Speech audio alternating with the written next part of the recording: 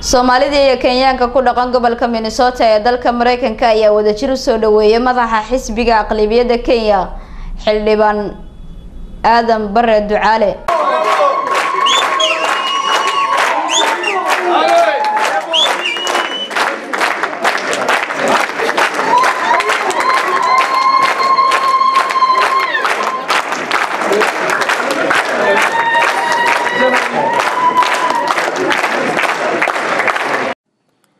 aadan bare ducaale waa hogaamiyaha aqlabiyadda baarlamaanka dalka kenya ee xisbiga xukunka haya ee jubbaland si weyn ayaana loogu soo dhoweeyey ducaale magaalada minneapolis ee gobolka minnesota.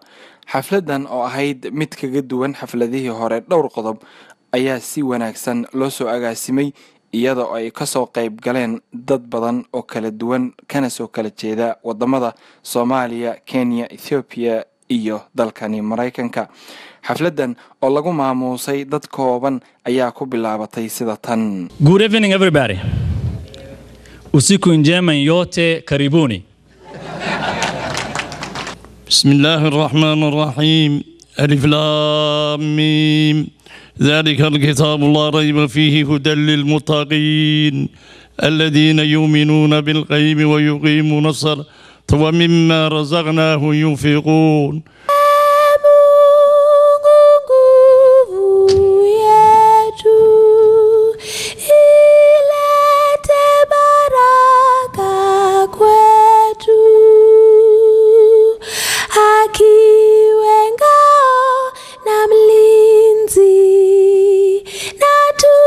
As a former majority leader in the Minnesota House of Representatives, I want to bring you greetings.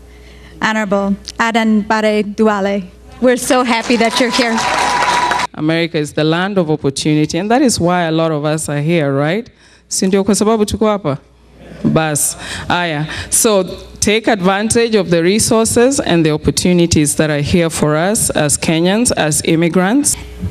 My name is Amina Kainan. I'm a Garissa product. ciyaalka xaafadaan ahay gaarisyaray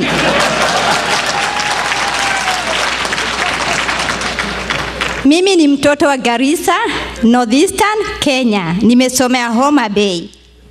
Kanyada. Kanyada. Mi, mi, mi ni ja Homa Bay. Aha.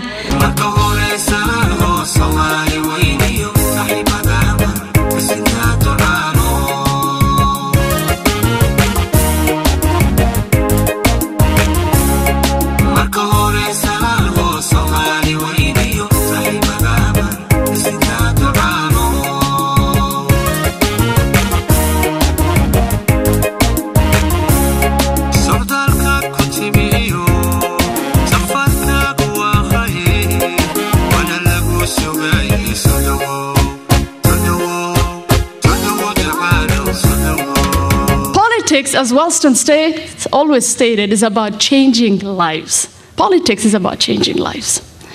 So, Mr. Duale, when I watched you in Isli last year talk about the injustices that are done to folks, the atrocities that were committed, the bribes and the rampant corruption that went on, the passion and the courage you demonstrated gave us all goosebumps, and for that I salute you.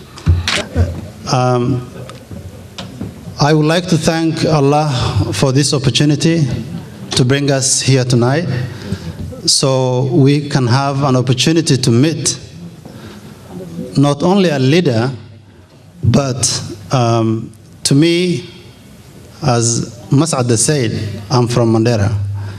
And we are jealous of Relgarissa for sure. because ninkaanad keenteen libaaxan ayaad micnaha inka dhashay? Ilaahay ku mahadiya. Haddii aad ka daashaan annaga noo soo dira. Mudane aadan bare ducaale oo khudbadiisa si weyn loo koranayay ayaa waxa uu kaga hadlay arrimo badan oo muhiim ah waxaana ka mid ahaa. Marka ummadda soomaalida waa ummad waxaa weeye lagu faano waa ummad fiican waa ummad ilaahay karaameeyey. Haddana waxaa loogu mitixaamay qabiilka.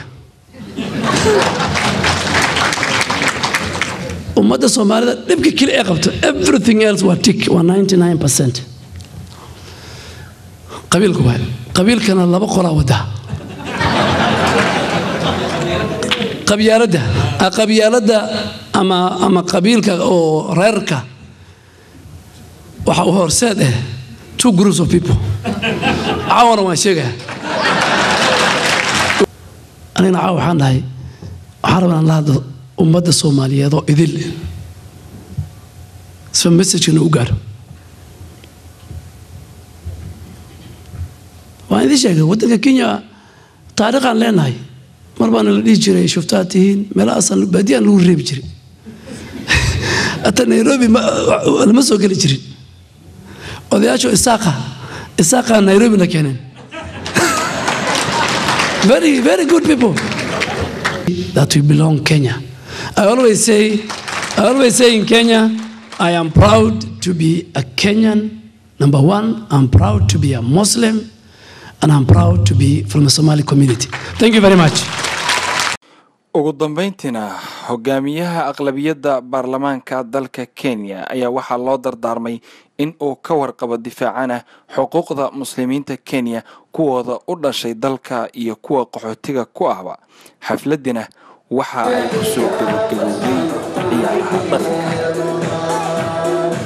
maxamuud dabyadayn soomaali cable minneapolis minnesota